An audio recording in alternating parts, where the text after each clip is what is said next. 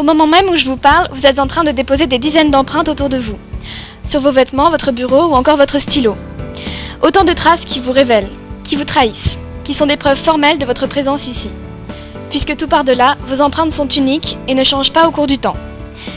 C'est cette unicité qui fait d'elle un domaine exploité par la police depuis 100 ans pour confondre un individu de façon formelle. Avant toute chose, euh, il faut savoir euh, différencier une trace papillaire d'une empreinte digitale.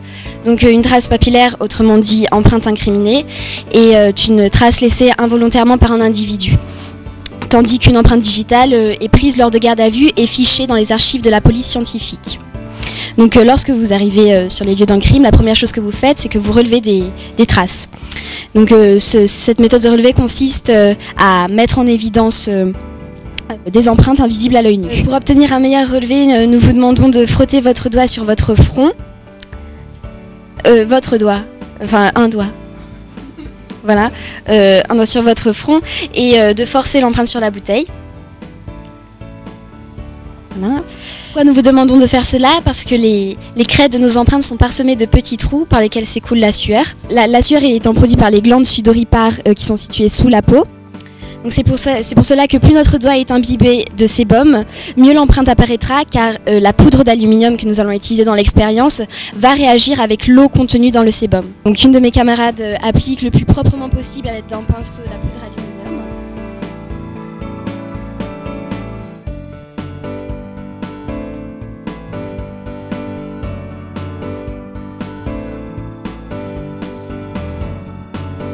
Voici le relevé obtenu. Donc à partir du relevé effectué, nous passons à une seconde étape qui consiste à transférer euh, la marque révélée sur un support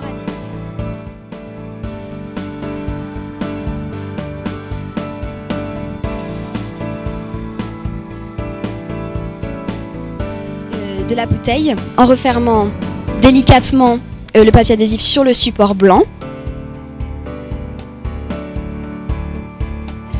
Que notre but, c'est d'identifier un individu à partir de ses empreintes. Il nous faut donc un autre support de comparaison.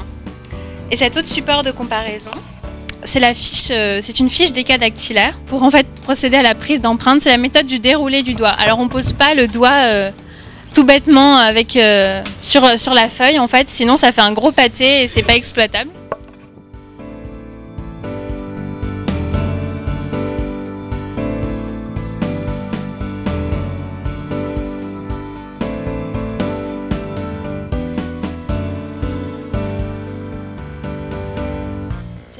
Fait ça pour chaque doigt, donc pour les 10 doigts de la main. Voilà, donc ensuite ces fiches sont envoyées au FNAED, qui est le fichier national automatisé des empreintes digitales.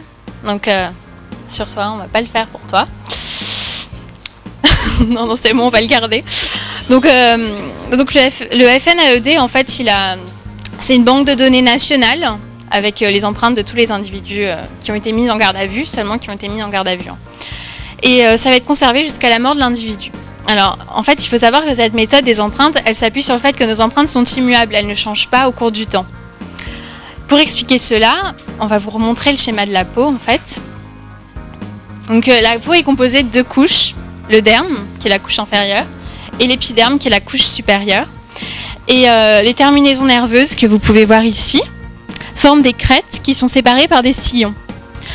Et en fait, l'épiderme, où on voit donc les empreintes digitales qui sont sur l'épiderme, c'est le reflet d'un schéma qui est bien plus profond. Donc c'est pour ça que quand vous vous coupez ou euh, au cours du temps, vos empreintes ne vont pas changer, elles vont toujours se reformer à l'identique. nos empreintes, c'est le, fruit complètement du hasard, la manière dont elles se forment. Alors euh, c'est la huitième semaine de gestation, donc quand vous êtes encore dans le, dans le ventre de votre maman. Euh, c'est la pression du liquide amniotique qui va former ces crêtes et ces sillons, que sont les empreintes digitales. Alors c'est pourquoi deux jumeaux qui sont issus du même de la même cellule œuf, de jumeaux homozygotes, n'auront pas les mêmes empreintes digitales parce que les empreintes vont être modifiées en fonction du flux sanguin dans le cordon ombilical.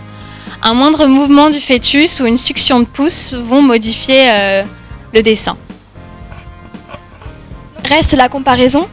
Alors euh, cette comparaison, elle constitue la dernière étape euh, de l'identification. Mais que va-t-on comparer? Donc c'est le transfert qui a été effectué sur la bouteille et euh, l'empreinte prise euh, donc, euh, par Axel. Donc là, c'est une empreinte qu'on a relevée sur une bouteille à la police scientifique et qu'on a agrandie. Et on va permettre, cela va permettre de l'étudier et de la comparer avec celle de la garde à vue.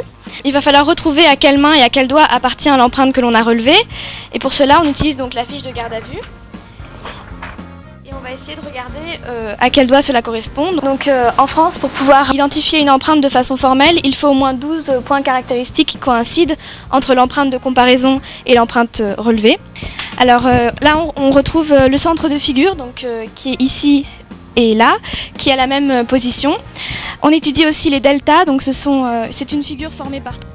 Alors le delta donc,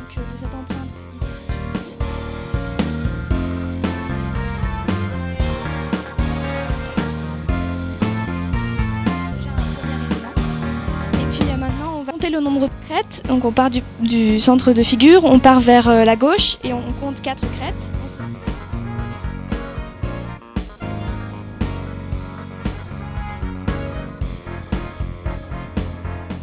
J'espère que les empreintes digitales vous ont intéressé.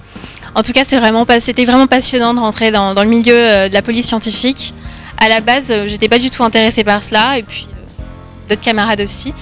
Et euh, c'était intéressant parce qu'on se sentait au, cœur de l'enquête. Et euh, bien sûr, c'est pas comme dans les séries policières. C'est pas aussi simple et c'est pas aussi, euh, aussi rapide.